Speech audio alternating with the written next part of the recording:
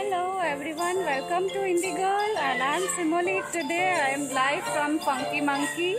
This is awesome place for kids. Fully sanitized for all the kids and only two parents are allowed in Funky Monkey. So it is really safe. Kids are enjoying after such a long time. See subscribe my channel Indie Girls. Hmm?